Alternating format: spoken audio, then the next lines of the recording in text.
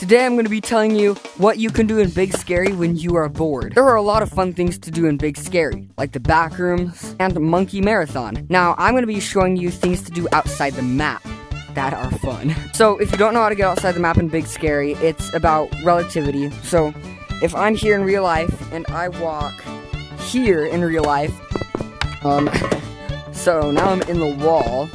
Now I'm gonna walk back to my normal part of my boundary. I'm outside the map. um, and there's uh, some fun things you can do out here. Uh, so I already made a video on this, but really cursed a child pathway.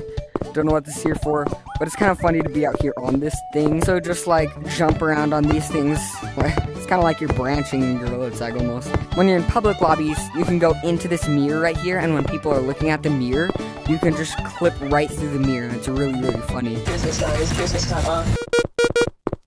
I don't know why he has this terrible, dreadful music. But yeah, you can just get into the fishbowl right here, and it's really funny, because people think you're modding. If we go outside in level 2, it's kind of weird out here. There's just like a big old platform outside the map, and you can see where the buttons are to know where the edges of the...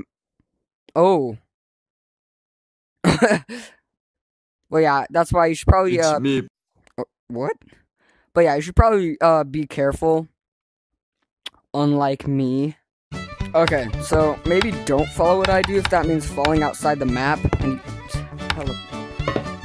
Oh my gosh, I almost fell outside the map again. But yeah, if you, uh, teleport far enough, on level 8, you can fall. You can clip right here. And if you walk a little bit past the green barrier, just a little bit, so you don't go into the map, pull your hand down like this, and then pull your hand out. And there you go. Uh, now we're outside the map. The trees are underneath the map too. and it looks actually really cool.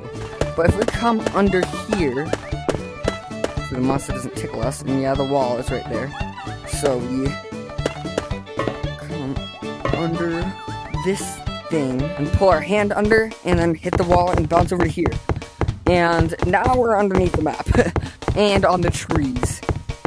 I think it's really cool out here because you can like practice. Ugh. Okay, so we're wanna we wanna get back outside on level eight again, but from right here at the very edge, you wanna do a light jump off, very light. It's me, Pumpkin Bang. But yeah, as you can see, you fall to right here. Um, in level 9, just want to come all the way down here to the pumpkin, or to the end of level 9. You can come down here.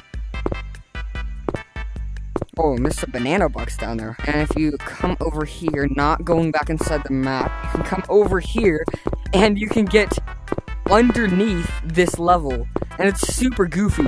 I mean, look at this. So those are some fun things to do in Big Scary outside the map. I love going inside the fishbowl and going on top on the child path. I don't know what that is. Thank you, Monkers, so much for watching. You better like and subscribe. It helps me out a ton.